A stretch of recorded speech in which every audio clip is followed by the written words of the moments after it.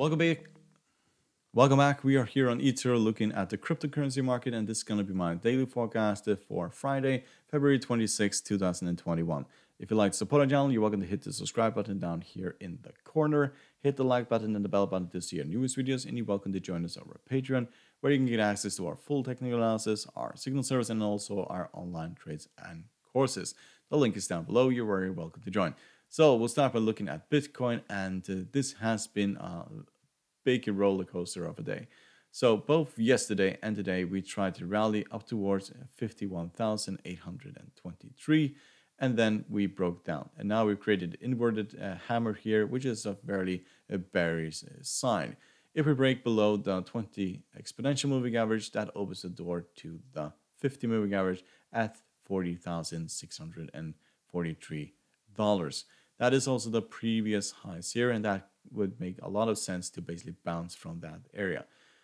Yes, the cryptocurrency market has had a major pullback. Usually, Bitcoin is the cryptocurrency that uh, leads the way. You occasionally have other cryptos that rally when Bitcoin basically fall, falls apart, but that is uh, it is usually Bitcoin that basically controls uh, the flow of this market. If you look at the technical indicators for for Bitcoin, they are either um, they're either flat or bearish at this point. But break below the 20 exponential opens the door to the 50. So let's look at Ethereum. So we have also been all over the place here. We did fall uh, four six consecutive days all the way down to 1355. Rallied yesterday up towards the 20 exponential. That offered a lot of resistance. We tested again almost a day and then we broke down, created this inverted hammer here. And at this point, it is, we are most likely going to test the 50 moving average again at around 1500. So if the 50 moving average breaks, which um, it looks like we are going to test at the moment, we can look at the Fibonacci retracement. How far basically is this uh, going to go? So the reason why we pulled back from here is mostly because we ran into resistance here at the first Fibonacci retracement. If we break the 50, then we'll head to the first Fibonacci retracement, which is the for these previous highs here, and that is roughly a 1382. Then we'll head towards the 50, that's around 1186, and then all the way down to roughly $1,000 uh, level. And that is, of course, usually the market likes round numbers, and there will occur a lot of buying if it drops to this uh, level here.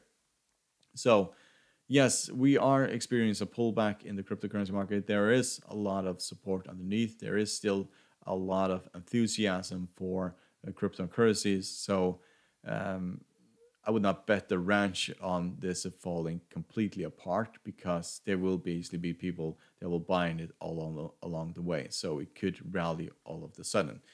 But to look out for here for most of them is basically a pullback and then basically a rally to the upside.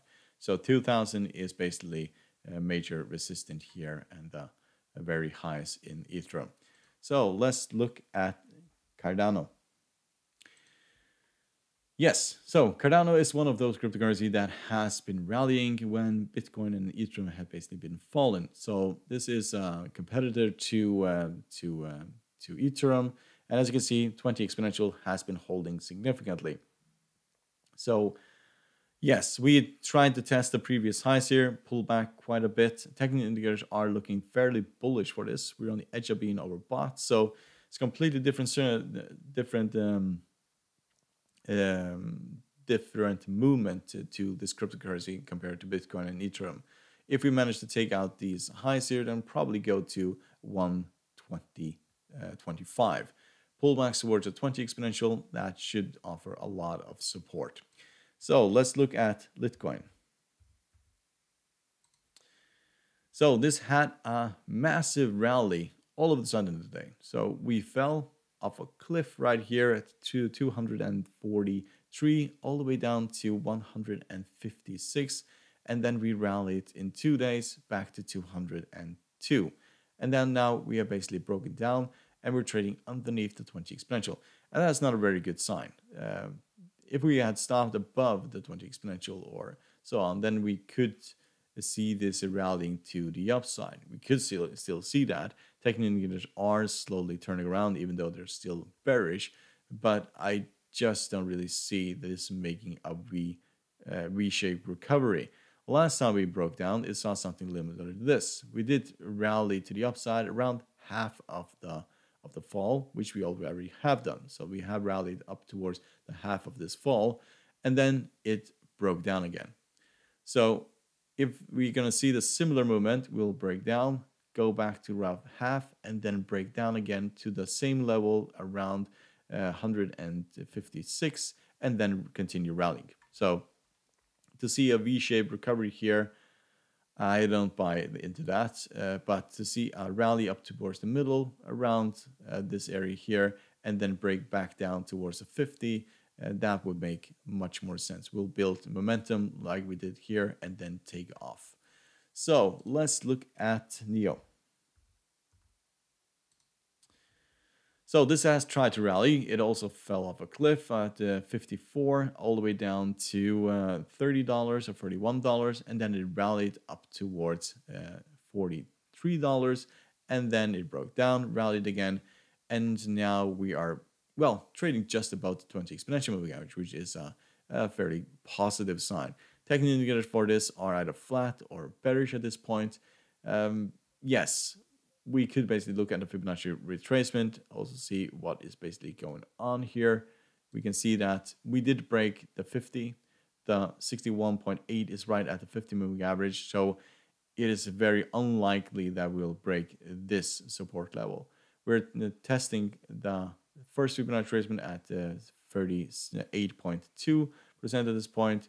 Uh, but a break below the 20 exponential opens the door to the 50 at the 30 um, $34. So yes, we could go back towards this level here and then go higher. I don't really see either this uh, cryptocurrency just making a V-shaped recovery all of a sudden. That probably won't occur until, for example, Bitcoin leads the way. So let's look at Tron.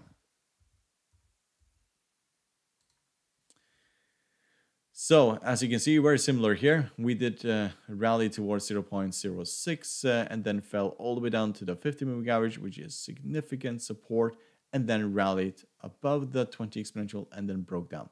So we created this fairly inverted hammer here, and that is often a uh, negative sign. We could see this rally back uh, or fall back towards the 50 moving average before going higher. A break above the 20 exponential, all that could open the door to, to 0.06. Technical indicators are either flat or bearish at this point. So uh, yes, it is it's not like we need basically the stochastic to turn around for most of these cryptos before we go higher. So hope you find help this helpful. You're welcome to support the channel by subscribing, hit the like button the bell button to see our news videos, and you're welcome to join us on Patreon. The link is down below. Good luck and thank you very much.